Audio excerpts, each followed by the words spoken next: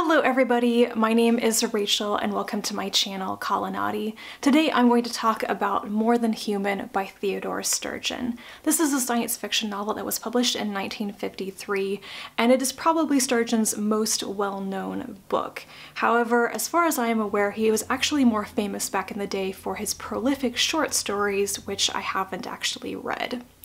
So More Than Human is actually a fix-up novel. Um, I believe that the middle part of it called Baby is Three was originally published on its own to some acclaim, and then the first and third parts were written to kind of bookend it in the novel version. We are introduced to a cast of characters that are all um, rejected from society in one way or another. They don't fit in because of their disabilities or their life circumstances, or they run away from abusive situations. These characters all eventually find each other. In fact, they're more like called or compelled mysteriously and drawn together, whereupon they discover that they function as the various parts of a collective person. And the question here is, is this the future of the human race to develop psychic abilities and evolve into a symbiotic group or a collective? Initially we see the joining of these characters and then what happens when they are pulled apart, when their collective is threatened. And then the issue that while they are more than human, they are still part of humankind and they need a morality or an ethos to dictate how they will live alongside humans and not harm them with their abilities. For me, Sturgeon's work has always stood out in terms of characterization and progressive elements. His characters always tend to feel more like real people to me with some depth and shading rather than the stiff, stereotypical cardboard cutouts of older SF. And he often chooses more unusual characters as well, like more women. I've definitely noticed that there are more women in his, in his books overall, including in More Than Human, and in this case also black characters.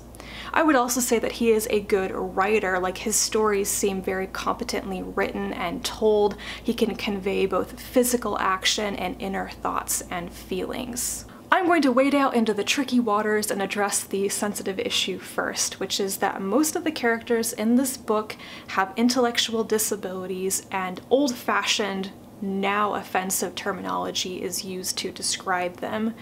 For example, the first character that we meet is a man named Lone who is very intellectually slow and he is only referred to as the idiot in the opening chapter of the book.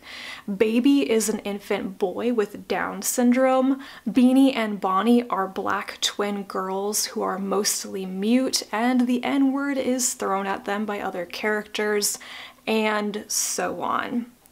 The question I was thinking of most while reading this novel is is it progressive or a positive portrayal that Sturgeon takes people with intellectual disabilities and gives them superhuman and psionic powers and imagines them as the future evolution of the human race to something better or just different?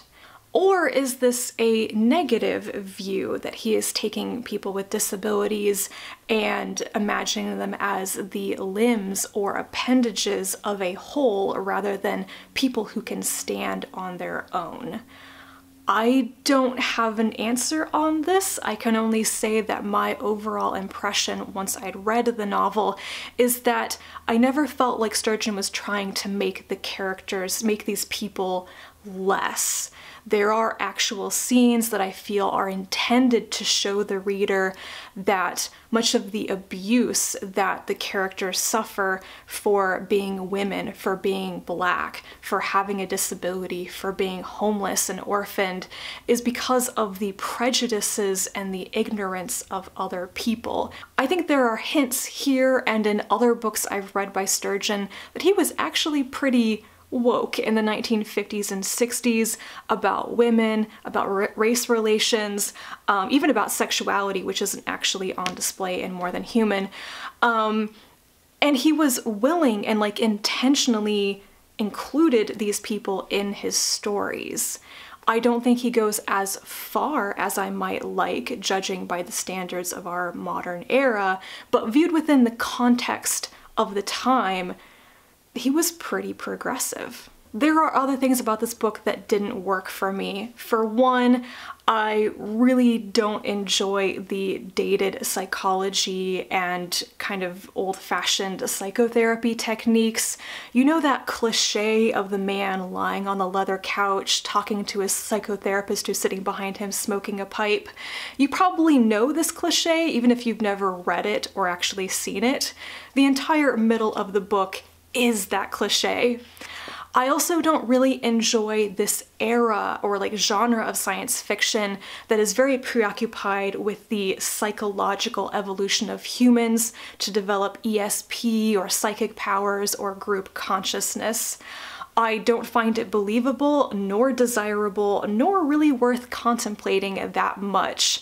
And so like the whole premise of this book, the question of can humanity go beyond the human individual to something more is simply not a topic that I really enjoy reading about. So just fundamentally the story here, because of its age, because of its premise, isn't that appealing to me. I will also say that I didn't understand the end of the story, the final scene, which is basically about imparting an ethics lesson and teaching morality through shame, made zero sense to me because the key conversation that changes a character's mind isn't actually shown in the story. It's a little bit of hand waving in my opinion that doesn't make much sense.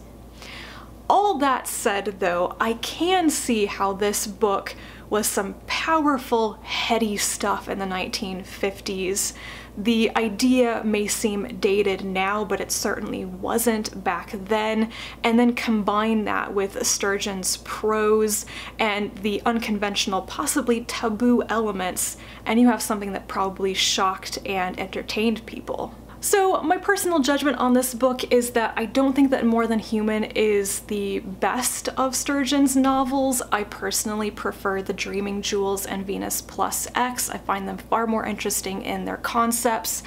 However, I wouldn't say to not read it, because at this point, I'm very happy to say that I think you could probably pick up anything by Theodore Sturgeon and find it to be well written for the time, thoughtful, and it's probably going to surprise you at least somewhat.